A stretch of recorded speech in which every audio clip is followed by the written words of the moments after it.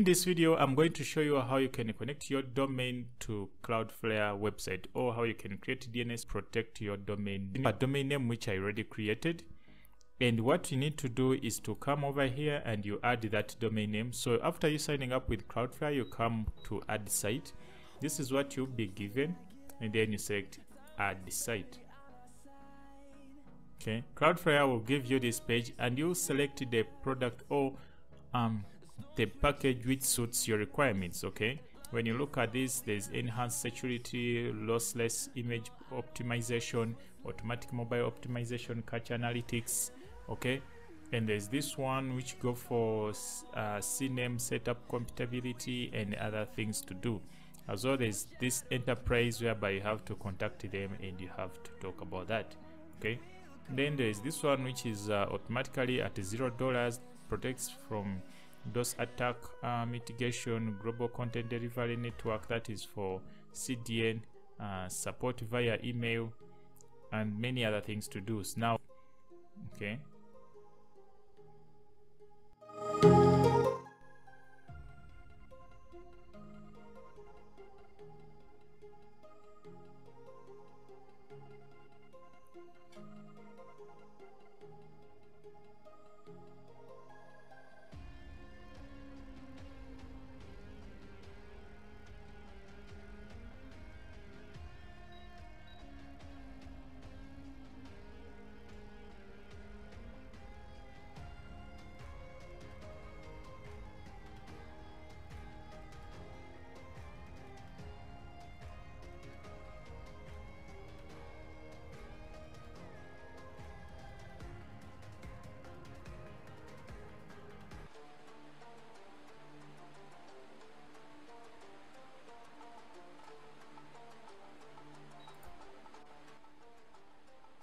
What you need to do next here is to is to first add a DNS record.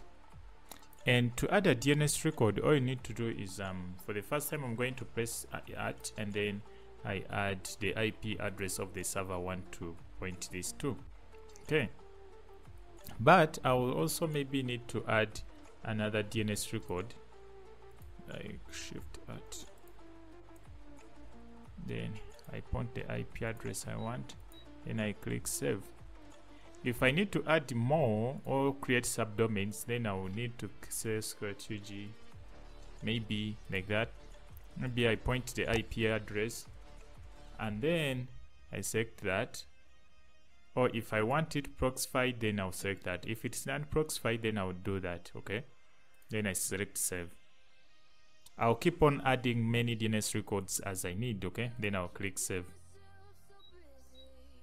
now after here the next step is for you to change the DNS or the name the name servers. And all you need to do is to go to your domain name provider and you select you select now name name server. So you feel free to check out on youtube on how you can manage your domain name or the name servers onto your of your domain names on that site okay?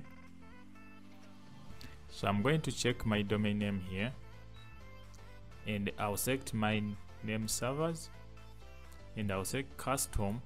And then I'll add them accordingly. Okay then I click save. It's that easy. And then I'll come back to this. And I'll just select done check name servers